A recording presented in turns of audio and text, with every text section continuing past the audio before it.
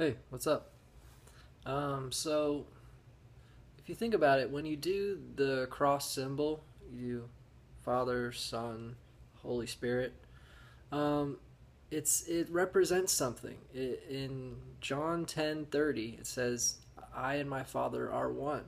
So, Father and the Son is a single line. So it's, it's two different parts. It's above and below, i.e., when he's in heaven and when he's in earth um, and then the Holy Spirit is the line. The Holy Spirit is the medium uh, between God in heaven and God on earth. So through the Holy Spirit, Jesus came down. So just think about that when you do the cross. No one told me this. I just kind of I'm thinking about stuff lately. So the Father and the Son is one single line, and the Holy Spirit is a separate line totally because it it is the medium that connects the top with the bottom, heaven and earth. Um, but anyway, I just thought that was kind of interesting and could be relevant. Um, I am finally on the book of Acts. I read the five books of Moses and the four Gospels.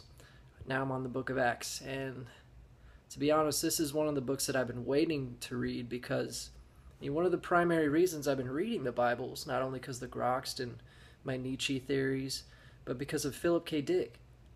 He said Philip K. Dick's whole exegesis is about him channeling the Bible and having a crazy ass spiritual experience afterwards. Um, the book of Acts is essentially the same exact story as Philip K. Dick's book, Flow My Tears, the Policeman Said. And Philip K. Dick had not even read the book of Acts while he was writing Flow My Tears. And then someone just randomly asked him, Hey, have you read the book of Acts? Because it's the same thing. You might you might recognize some of these ideas that I'm talking about if you've seen Waking Life, because um, they talk about it in there. So, the Bible is is is much bigger than a couple rednecks drinking beer, toting guns, trying to ban abortion. The Bible is a huge it's a huge metaphor. It's a huge code. There's something there's some grand overall archetype in there that we keep reliving and Philip K. Dick wrote Flowing My Tears, the policeman said, because he believes we're still in the time of the book of Acts and just uh, history and st- stuff just appears to have moved forward. I mean, it's very interesting, stuff like that. Um, but yeah, so I got a third Bible, of course. I got a little pocket size one. Um, it was literally six six ninety nine. Six ninety nine edition. Um, there's the barcode backwards, if you can read backwards. Oh yeah, and I got the iPhone 5C, i.e. cheap. It was only 99 bucks, and it's pretty awesome.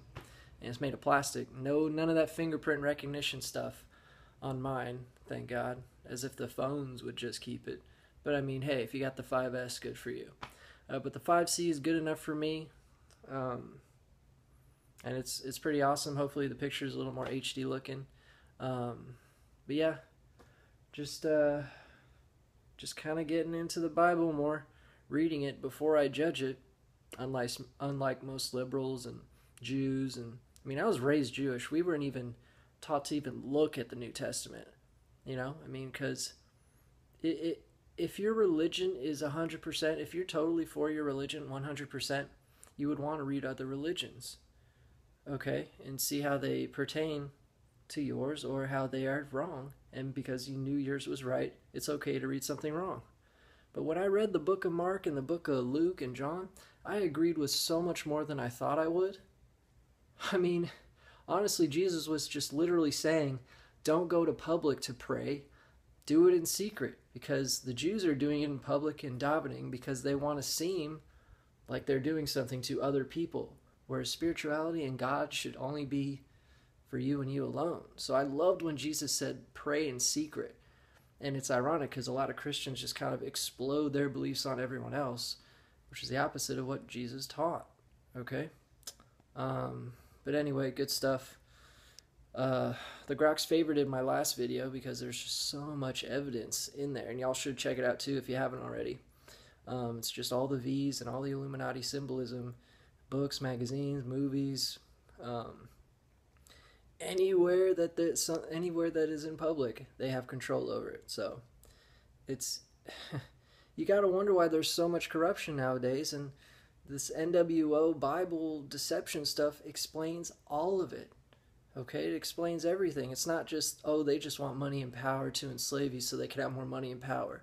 They know money is fake. Okay, they know they created out of thin air. It's not about money. Okay, it's some there's something spiritual going on. So read up, um, but also live it up. Peace.